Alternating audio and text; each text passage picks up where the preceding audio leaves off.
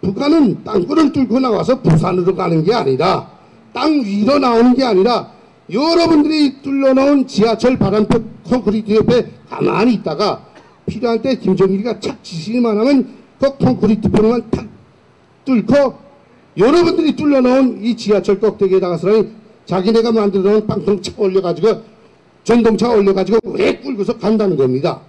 그것이 바로 이제는 땅굴이 지하철 사방 각곳에 다 와 붙었다는 겁니다. 한마디 말해서. 여러분들이 밤에 잘 때 뭐 지하철에서 뭐 인민군대가 나왔는지 땅굴가 나왔는지 알 겁니까? 땅속에서 지금. 상상이 안 갑니까? 아직도? 대사님은 그 저기 어, 외교관 시절 때 이런 그 땅굴에 대한 정보는 뭐 그때 지하철에 대한 그 정보 외에는 더 깊숙이는 모르. 네, 그 외에는 뭐 더 이쪽 사람들을 만나본 적은 없는데 저는 솔직히 땅굴이 나온다는 건 알고 있어요. 나온다는 건 알고 있는데 그래서 제가 생각하기는 우리 친구들한테 들었던 것도 그렇고 그저 서울 깔고 왔는 게 기본 목적이니까 또 그때 당시는 북한이 땅굴 파는 능력이라는 게 그렇게 무슨 지금 보면 지금 그 상태라면 대단히 세계적 수준에서 어 뭐 남북 안으로 나가는 수준이라고 봐야 될 정도로 막 그렇게 나오는데 이것이 북한의 현존 기술 능력하고 나는 대비해 볼 때 남한이라는 사람, 남한이라는 기업, 어떤 기업이 여기에 동참하지 않으면 전혀 불가능하지 않나 하는 생각을 나는 지금도 하게 됩니다. 그 땅굴 뭐 일반적인 생각이라고 자꾸 그러지만은 여기서 북까지, 북한까지는 대단히 먼 거리 아닙니까? 솔직히 북한이 평양에서 동평양 그 대동강 하나 건너가지 못해 동- 대- 동평양에 지하철을 못 넣는 수준으로 지금 그 선으로 알고 있는데 여기까지 그 많은 강과 호수를 지나서 여기까지 나오면서 그 하수 처리를 하고 어, 석수 처리를 하고 공기구멍을 내고 그 보력을 다 처리했다는 데 대해서는 난 아직도 북한 힘으로는 했다고 난 장담하기는 어렵습니다. 솔직히 말씀. 북한에서 그 김정은이가 김정일이가 중국으로 유사시에 도망가기 위해서 지하에서 몇백 킬로를 땅굴을 뚫었다라는 것에 대해서 아니 아니 그건 거짓말입니다. 김종일이가 북한으로 도망가는 구멍은 나는 압니다. 김종일이 예, 좀야 이 평, 평안북도 창성군 약수리에 거기서 지하도 파가지고 수풍호수로 뽑아가지고 배로 나가는 그것까지는 나는 아는데 중국까지 무슨 지하로 파놓고 그건 거짓말입니다. 그 그런 말은 믿을 필요 없습니다. 그게 300m 선생님 말씀에 의하면 그게 그렇게 들었는데. 되시는데 그 텔레비에 나오는 그 누구예요 그, 그 강명도 교수 말고 또 한분 텔레비에 자주 나오는 분 있죠. 탈북체? 예, 탈북자 조금 난- 소하면서 외교관 출신. 아, 그 고, 고유, 고, 고영환이. 네, 예, 고영환. 그분 같은 경우는 자기가 직접 갱도에 들어가서 같이 있는 거를 얘기를 하시던데 어느 갱도에 들어갔다는 겁니까? 땅굴 저 중국까지 뚫려 있는 갱도를 얘기를 하던데 그, 그러니까는 이게 워낙 점조직식으로 땅굴에 대한 비밀이 비밀이래. 때문에 모르는 사람은 아예 대사님이 모르네. 다알 수는 없을 거예요 아마. 어디서 어디까지 파는가? 평양에서 평양에서 중국까지 팠다면 중국 접경까지 해가지고 그런 어, 얘기는 뭐 공공연하게 많이, 나와 들리기는 있어요. 했는데 그럴 필요가 없는데 왜 그따위 짓을 하겠는가 하는 겁니다. 그리고 일전에 그 미사일 발사를 하기 위해서 그 평양인가에서 동창리 동창리 네. 그쪽까지 땅굴을 100km인가 그 거리가 얼마나 되는지 모르겠지만 그렇게 파가지고 어, 부품을 어, 수송을 하는 거를 이제 그 눈치를 어, 위성에서 못 채가지고 나중에 발사 되고 나서 이제 알았다라는 보도까지 또 있었거든요. 위에 가림막 하나 가려놓고 있었더니 위성에서 못 잡았다라는 거예요. 예? 그런 상황이니까는 뭐 우리나라 요즘에 이 시대가 어떤 시대인데 그거를 모르겠느냐고 땅속까지 다 들여다본다고 이런 식으로 얘기하는 어리석인 분들도 있습니다. 땅굴 입구에 쭉 차가 서 있다가 어두면은 위장막 씌워가지고 갖고 가서 흙버려도 모른대요. 그렇게 한대요. 누가 바보냐요? 대낮에 움직이게.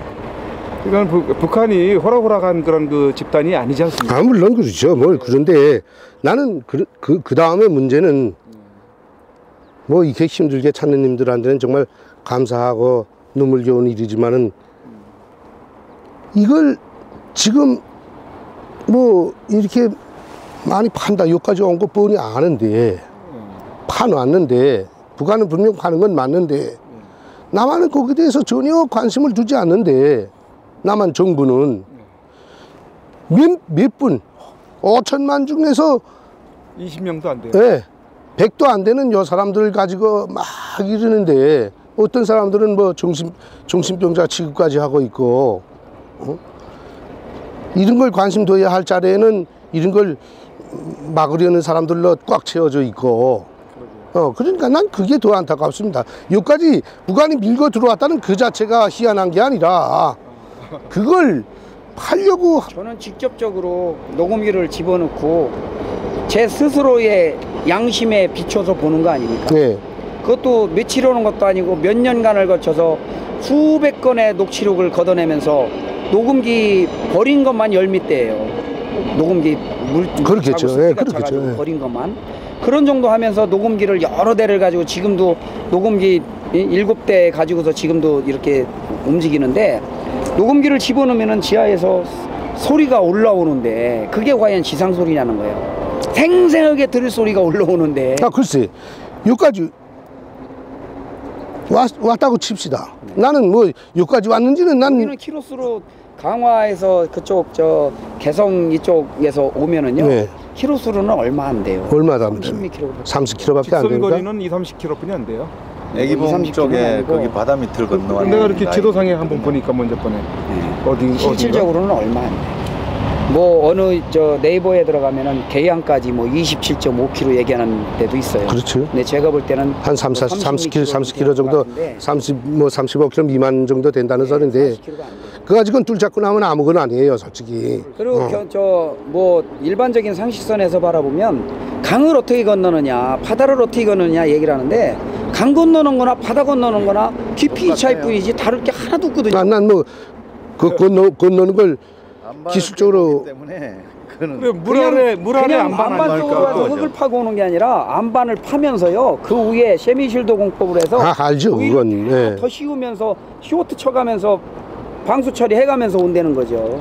그냥 오는 게 아니고. 그러니까 그 부분에 대해서는 우리 국민들이 너무 네, 예, 너무 상식적으로 그냥 예, 물을 어떻게 건너냐고. 한강 아니 아니 그거는 건넙니다. 건너는 건 건너는데 자체로 생기는 그 속수 처리를 어떻게 하는가 그거지 바다 뭐못 건너는 건 그건 못 건넌다는 네, 건못 건넌다면 그건 무식한 사람이죠 그렇죠. 예. 해보면은 그 광산에 했던 분이라든가 북한에서 탈북원 분들이라든가 직접 자기가 땅굴을 파는데 90km의 땅굴을 파는데 양쪽에서 시작을 해가지고서 가서 붙이더랍니다. 그렇죠 북한 내에서 땅굴을 파는데도 90km를 자기가 직접 파는 거를 목도를 했대요. 정, 자기가 정교하게 작업을. 한다는 거죠. 정, 아니 그거는 측량상의 문제이기 때문에 그렇죠. 양쪽에서 파설하니 무조건 얘다 붙입니다 그건 네. 그건 일, 차이가 날 수가 없어요. 그 물론 뭐 측량수가 그건 잘못하게 되면 상하 차이나 좌우 차이를 가져올 수 있는데 그 정도까지 무식하지는 않거든요. 북한 사람들이 뭐 자꾸 여기 사람들은 북한이 그렇게 너무 하냐, 뭐, 뭐. 북한이 그걸 그렇게 제가 하냐는데 제일 답답한 게 그거예요. 북한을 너무 아니 제가 안타, 제가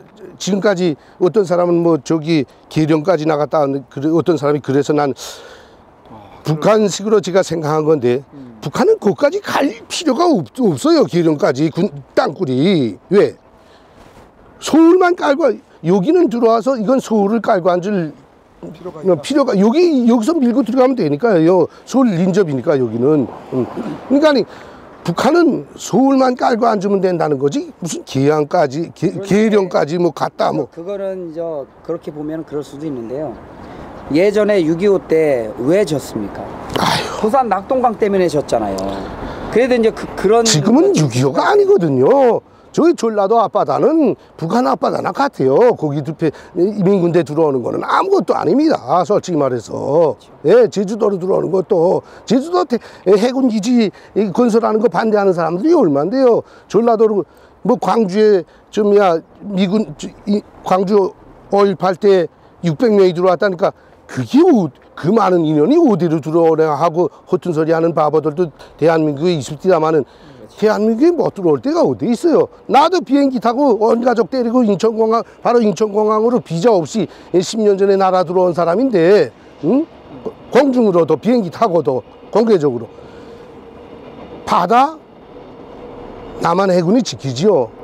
남한 해군이 지키는 것만은 사실인데는 한계가 있다. 지금 누굴 믿을 때가 있어요, 지금.